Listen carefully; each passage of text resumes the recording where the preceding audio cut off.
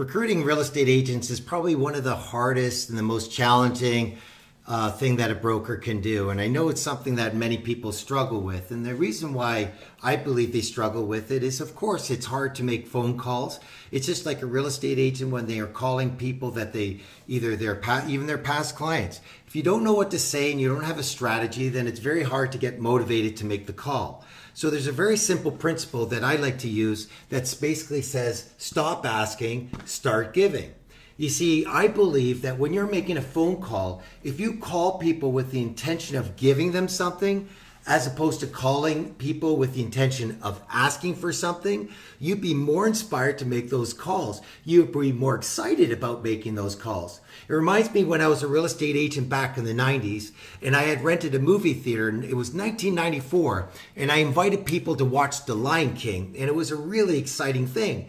I got to tell you something. What inspired me the most about putting on an event like that was because I was looking for an excuse to call people up, to feel comfortable and excited about calling them so they don't feel like I'm bothering them and actually would thank me for calling.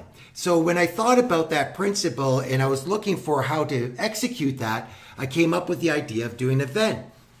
Now, just like a real estate agent needs to look for an event and wants to, or needs to figure out what kind of value they can offer when they're making a phone call, like perhaps here's another idea calling somebody up and offering them a free market evaluation on their home.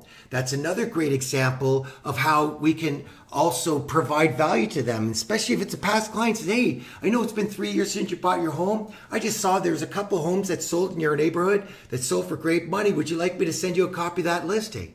You know, people love information like that. I know I would. So if you relate that exact same principle to recruiting, then how do you do it for, for real estate agents? Well, the same way. You have to look for stuff that you can give them, items of value.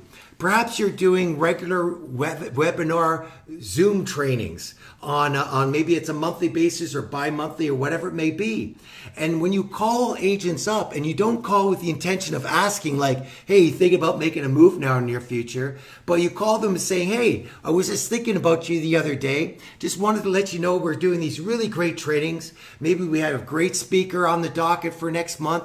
I was just wanting to know if I could personally invite you to that webinar if you be When you call people with the intention of giving them something, then all of a sudden you don't have to feel sheepish about it and you can get excited about picking up that phone and sticking to your goals. And what are your goals? You should have a definitive number of calls you should be making every day.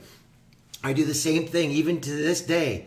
And I time block one hour minimum every single day in order to call people that I know, people that I believe I want to bring value to, people that I hope will one day become our clients. So the same thing you have to do too. You have to have a goal. You have to have a time block every single day and you have to know what to say. So always start with the intention, with this intention. Stop asking, start giving. And when you call with that kind of intention, you'll be more excited.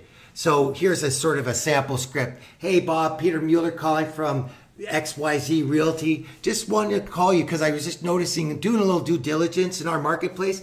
Notice you're in the top 10% of all the agents in our county. Congratulations. Hey, thanks for noticing. They would probably respond.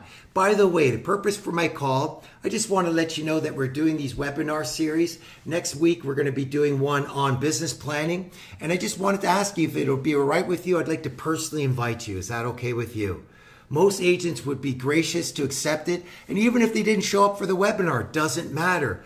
The purpose of it was it gave you an excuse to call them and provide value and have a strategy. And here's the best part of that. When you call them back again, maybe in three months, you, you have a follow up to that. You're always bringing more value. But if you call somebody up and say, hey, you think about making a move now in your future? They say no. How do you follow that up again in three months? Because I would recommend you call through your database four times a year. That's the least you can do. So to get the ball rolling, have the right intention. Think about what you're saying and realize, are you asking for something or are you giving something? So I hope you enjoyed this video today. This is Peter Mueller signing off. Wish you all a profitable day. Hey folks, if you'd like to see more content like this on a regular basis, please click on the like button and subscribe to our channel today.